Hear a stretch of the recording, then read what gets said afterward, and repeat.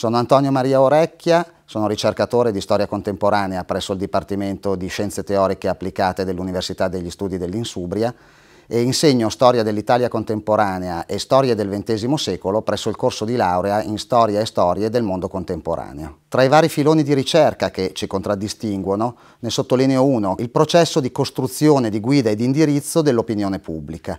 Il tema è molto importante e pur guardando il passato, in realtà si rivolge al futuro perché eh, le democrazie oggi vengono definite come governo di opinione. La persona vota secondo l'opinione che si è costruita. Ecco, il nostro gruppo di ricerca indaga, studia, cerca di comprendere i processi di costruzione e di indirizzo dell'opinione pubblica. Lo sguardo è rivolto al passato, ma naturalmente anche al futuro. L'università è il luogo in cui si para a guardare oltre sull'orizzonte. L'università è la casa dei disegnatori di futuro.